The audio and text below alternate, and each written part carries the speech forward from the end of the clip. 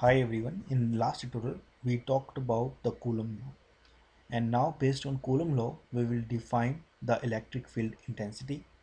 Uh, so in Coulomb law we define two particles and we said that the force between the two particles uh, is proportional to the charges on the two particles and inversely proportional to the distance between the two particles right? So now uh, what is the electric field so instead of uh, considering two charges if we consider only one charge so suppose if we have a one charge and uh, uh, so in this charge will have uh, electric uh, field all over the place. What does electric field means is that if some other charge particle come closer to this particle then it will be influenced by this particle. So instead of uh, focusing about what's the charge of the other particle we are just focusing on the charge uh, or the influence of this particle around um, in the surrounding areas. So and we can say that uh, so suppose force is proportional to q1 uh, q2 uh, divided by r square. So here we are not uh, taking into account of the charge of the other particle and we are just considering what is the influence of this particle. But obviously that influence uh, will be a function of the charge of the particle which will come into this region. So therefore uh, electric field is more defined as the influence of one particle that could be there on the particles which will come closer to it. So all we need to do is uh, we need to remove the other charge particle or q2 from the equation and then we will get the electric field.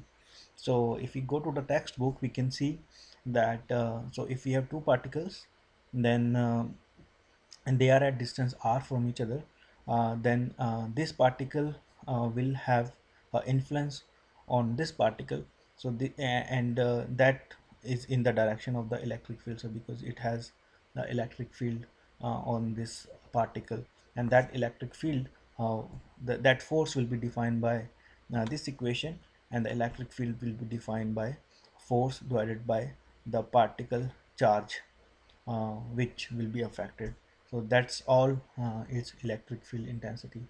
So it comes uh, handy when we are talking about uh, some kind of uh, uh, machinery or the engineering system where we have a big charge uh, in center and we are concerned about the small charges which will be sent closer to it and we want to see how that will be influenced. So we talk about the electric field because the the charge of the particles which are coming closer to that field can be variable or can be different uh, with time but this electric field will remain constant. So therefore in that case the electric field concept comes very handy. But this is how you define the electric field. Now uh, let's also define the electric line of forces. So uh, what uh, how will you uh, describe line of forces? So mostly um, there is um, like you can think this is not a concept but this is more of a definition which can be used to communicate uh, with the other uh, colleagues or, or, engineers or scientists. So that's why there is a, a convention how to uh, define the electric uh, fields. So that's why we say electric line of forces. So it's all about if we put a positive charge then where should that positive charge go? And wherever it will should go that will define the electric line of forces. So, so now let's talk about the first system. So if you put a positive charge near this system so this is also a positive charge. So that positive charge should repel and go away from this particle. So all the electric field is defined to be going away from the positive charge.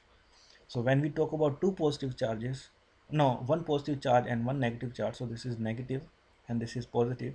Then the positive charge will go from positive towards negative. So that's why these lines are going this way. But uh, if you have positive charge on this side then it will just repel uh, uh, in this direction. So that's why the lines are built like this.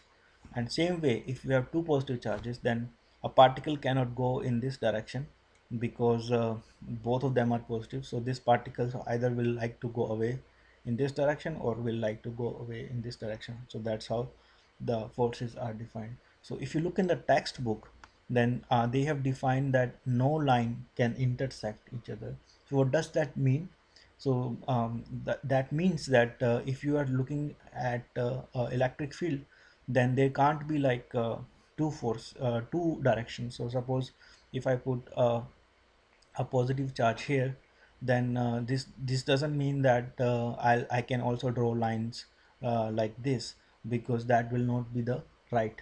Uh, in that case we have to redefine all the lines and uh, that will be more like uh, like this going in this direction and all this line will disappear and this will be going in this direction. So so you have to make the new lines or, or define the new terms which will be um, which will take effect of all the forces which will be there o- on the particle and that's how you will define the new lines so so i hope this uh, helps and this clears your concept about electric field and electric line of forces.